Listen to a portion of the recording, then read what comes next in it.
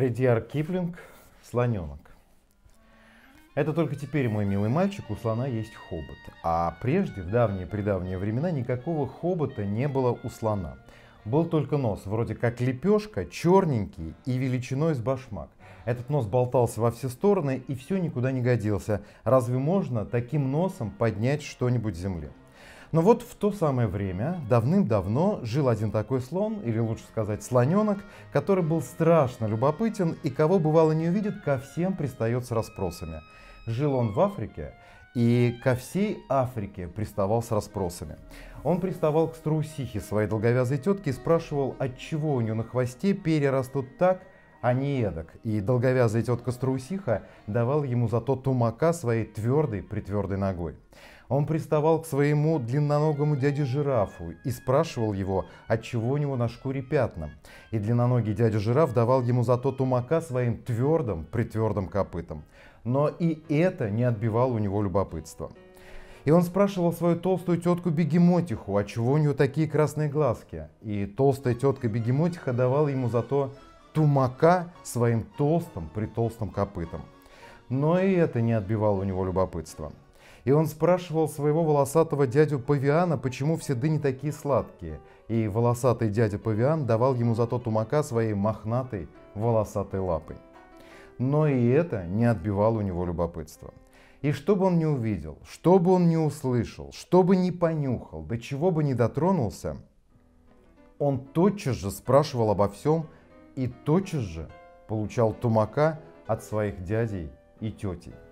Но и это не отбивало у него любопытства.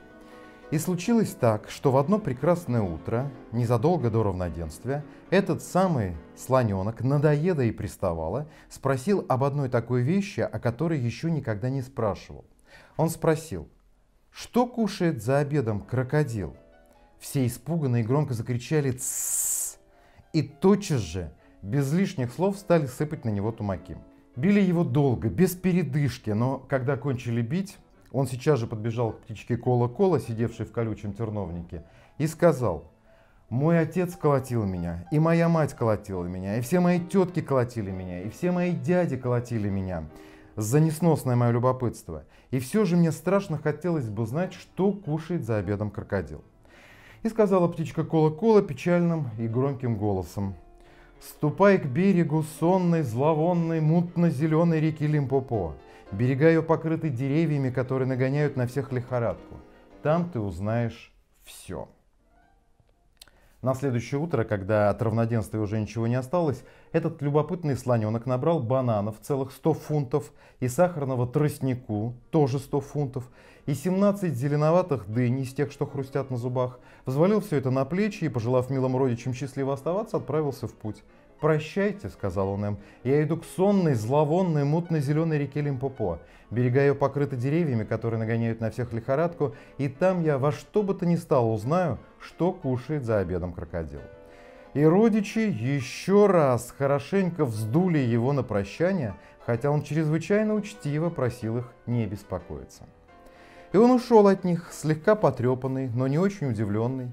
Ел по дороге дыни, а корки бросал на землю, так как подбирать эти корки ему было нечем. Из города Грэм он пошел в Кимберли, из Кимберли в Хамбом в землю, из Хамовой земли на восток и на север, и всю дорогу угощался дынями, покуда наконец не пришел к сонной, зловонной, мутной зеленой реке Лимпопо, окруженной как раз такими деревьями, о каких говорила ему птичка Кола-Кола. А надо тебе знать, мой милый мальчик, что до той самой недели, до того самого дня, до того самого часа, до той самой минуты наш любопытный слоненок никогда не видел крокодила и даже не знал, что это такое. Представь же его любопытство. Первое, что бросилось ему в глаза, был двухцветный питон, скалистый змей, обвивавшийся вокруг какой-то скалы. «Извините, пожалуйста», — сказал слоненок чрезвычайно учтиво, «не встречался ли вам где-нибудь поблизости крокодил?» Здесь так легко заблудиться. «Не встречался ли мне крокодил?» – презрительно переспросил двуцветный питон скалистый змей. «Нашел о чем спрашивать». «Извините, пожалуйста», – продолжал слоненок, – «не можете ли вы мне сообщить, что кушает крокодил за обедом?» Тот двуцветный питон, скалистый змей, не мог больше удержаться, быстро развернулся и огромным хвостом дал слоненку тумака. А хвост у него был как молотильный цеп и весь покрыт чешуей. «Вот чудеса», — сказал слоненок. «Мало того, что мой отец колотил меня, и моя мать колотила меня, и мой дядя колотил меня, и моя тетка колотила меня, и мой другой дядя Павиан колотил меня, и другая моя тетка Бегемотиха колотила меня, и все, как есть, колотили меня за ужасное мое любопытство, здесь, как я вижу, начинается та же история». И он очень учтиво попрощался с двусветным питоном, скалистым змеем, помог ему опять обмотаться вокруг скалы и пошел себе дальше. Его порядком потрепали, но не очень удивился этому и снова взялся за дыни и снова бросал корки на землю, потому что, повторяю, чем бы он стал поднимать их. И снова набрел на какое-то бревно, валявшееся у берега сонной, зловонной, мутно-зеленой реки Лимпопо, окруженной деревьями, нагонявшими на всех лихорадку. Но на самом деле, мой милый мальчик, это было не бревно. Это был крокодил. И подмигнул крокодил одним глазом. Вот так. «Извините, пожалуйста», — обратился к нему слоненок чрезвычайно учтиво. «Не случилось ли вам встретить где-нибудь поблизости в этих местах крокодила?» Крокодил подмигнул другим глазом и высунул наполовину свой хвост из воды. Слоненок, опять-таки очень учтиво, отступил назад, потому что ему не хотелось получить нового тумака. «Подойди-ка сюда, моя крошка», — сказал крокодил. «Тебе, собственно, зачем это надобно?» «Извините, пожалуйста», — сказал слоненок чрезвычайно учтиво. Мой отец колотил меня, и моя мать колотила меня, и моя долговязая тетка Страусиха колотила меня, и мой длинноногий дядя Жираф колотил меня, и моя другая тетка Толстая Бегемотиха колотила меня, и другой мой дядя Мохнатый Павиан колотил меня, и двуцветный питон Скалистый Змей вот только что колотил меня больно-прибольно. И теперь, не во гнев будь вам сказано, я не хотел бы, чтобы меня колотили опять. «Подойди сюда, моя крошка», — сказал крокодил, — «потому что я и есть крокодил». И он стал проливать крокодиловые слезы, чтобы показать, что он и вправду крокодил. Слоненок ужасно обрадовался, у него захватил дух, он упал на колени и крикнул, «Вас-то мне и нужно, я столько дней разыскиваю вас, скажите мне, пожалуйста, скорее, что вы кушаете за обедом?» «Подойди поближе, я шепну тебе на ушко». Слоненок нагнул голову близко-близко к зубастой клыкастой крокодиловой пасти, и крокодил схватил его за маленький носик, который до этой самой минуты, до этого самого дня, до этого самого часа, до этой самой минуты был ничуть не больше башмака. «Мне кажется, — сказал крокодил и сказал сквозь зубы вот так, — мне кажется, что сегодня на первое блюдо у меня будет слоненок». Слоненку, мой милый мальчик, это страшно не понравилось, и он проговорил через нос. «Пустите меня, беде очень больно!» «Пустите меня, мне очень больно!» Тут двуцветный питон, скалистый змей, приблизился к нему и сказал. «Если ты, о мой юный друг, тотчас же не отпрянешь назад, сколько хватит у тебя твоей силы, то мое мнение таково, что не успеешь ты сказать раз, два, три, как следствие твоего разговора с этим кожаным мешком, так он величал крокодила, ты попадешь туда, в эту прозрачную водяную струю. Двусветные питоны и скалистые змеи всегда говорят вот так. Слоненок сел на задние ножки и стал тянуть. Он тянул и тянул и тянул, и нос у него начал вытягиваться. А крокодил отступил подальше в воду, вспенив ее, как взбитые сливки, тяжелыми ударами хвоста, и тоже тянул и тянул и тянул. И нос у слоненка вытягивался, и слоненок растопырил все четыре ноги, такие крошечные слоновьи ножки, и тянул, и тянул, и тянул, и нос у него все вытягивался и вытягивался. А крокодил бил хвостом, как веслом, и тоже тянул и тянул. И чем больше он тянул, тем длиннее вытягивался нос у слоненка. И больно было этому носу ужасно. И вдруг слоненок почувствовал, что ножки его заскользили по земле, и он вскрикнул через нос, который сделался у него чуть не в пять футов длиною. «Да, Вудя, оставьте, я больше не могу!» Услышав это, двухцветный питон скалистый змей бросился вниз со скалы, обмотался двойным узлом вокруг задних ног слоненка и сказал, «О неопытный и легкомысленный путник, мы должны поднатужиться сколько возможно, ибо впечатление мое таково, что этот военный корабль с живым винтом и бронированной палубой, так он величал крокодила, хочет загубить твое будущее. Двуцветные питоны, скалистые змеи, всегда выражаются так. И вот тянет змей, тянет слоненок, но тянет и крокодил. Тянет, тянет, но так как слоненок и двухцветный питон, скалистый змей тянут сильнее, то крокодил в конце концов должен выпустить нос слоненка. И крокодил отлетает назад с таким плеском, что слышно по всей Лимпопо. А слоненок как стоял, так и сел, и очень больно ударился, но все же успел сказать двуцветному питону скалистому змею спасибо, а потом принялся ухаживать за своим вытянутым носом. Обернул его холодноватыми листьями банана и опустил в воду сонной, мутно-зеленой реки Лимпопо, чтобы он хоть немного остыл. «К чему ты это делаешь?» — сказал двуцветный питон скалистый змей. «Извините, пожалуйста», — сказал слоненок, — «нос у меня потерял прежний вид, и я жду, чтобы он опять стал коротеньким». «Долго же тебе придется ждать», — сказал двуцветный питон скалистый змей. «То есть удивительно, до чего иные не понимают своей собственной выгоды». Слоненок просидел над водой три дня и все поджидал, не станет ли нос у него короче. Однако нос не становился короче, и мало того, из-за этого носа глаза у слоненка стали немного косыми. Потому что, мой милый мальчик, э, ты, надеюсь, уже догадался, что крокодил вытянул слоненку нос в самый заправдышний хобот, точь-в-точь -точь такой, какие имеются у всех нынешних слонов. К концу третьего дня прилетела какая-то муха и ужалила слоненка в плечо, и он сам, не замечая, что делает, приподнял хобот и прихлопнул муху. «Вот тебе и первая выгода», — сказал двухцветный питон скалистый змей. «Но рассуди сам, мог бы ты сделать что-нибудь такое своим прежним булавочным носом? Кстати, не хочешь ли ты закусить?»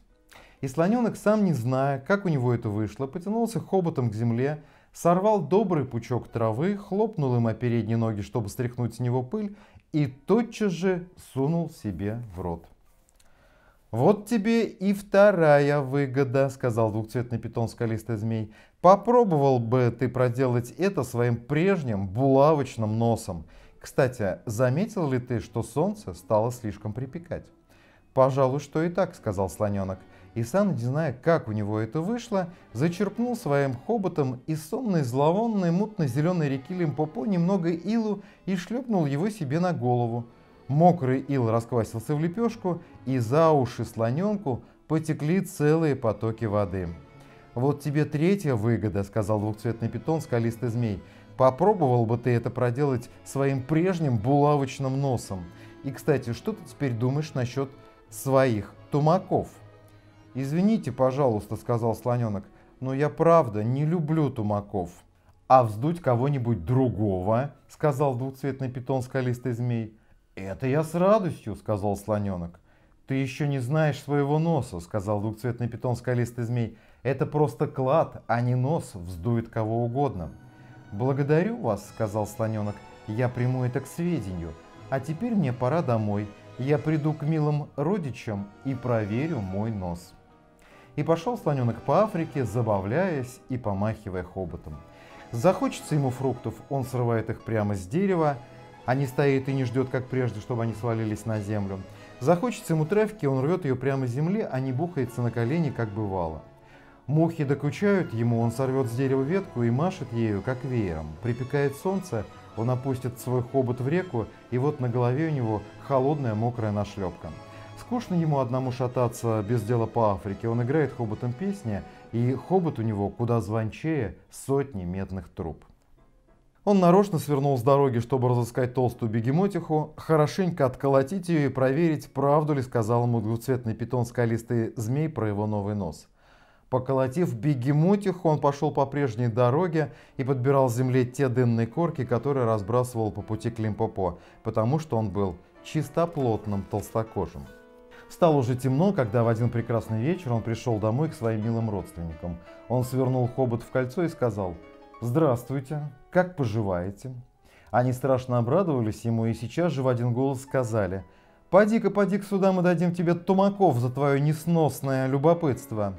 «Эх вы», — сказал слоненок, — «много смыслите вы в тумаках. Вот я в этом деле кое-что понимаю. Хотите, покажу?»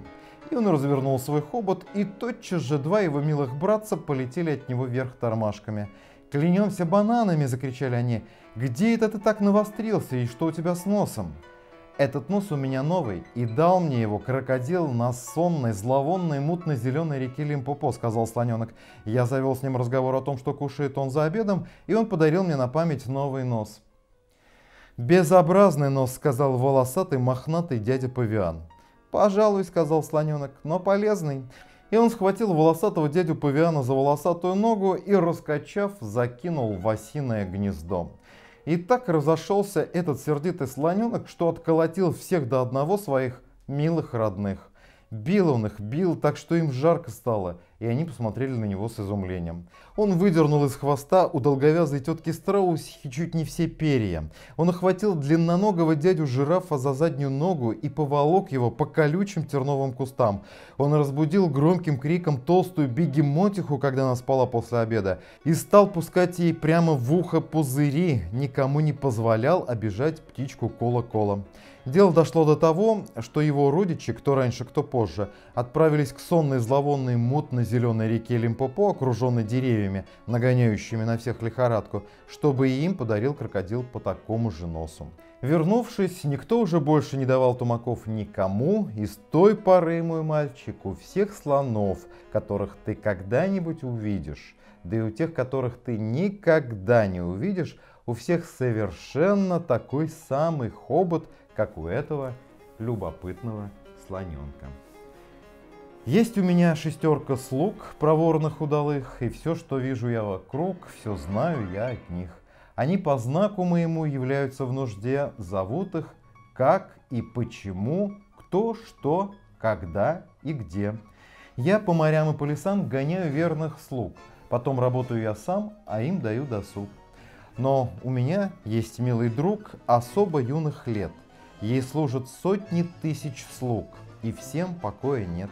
Она гоняет, как собак, в ненастье, дождь и тьму, пять тысяч где, семь тысяч как, сто тысяч почему.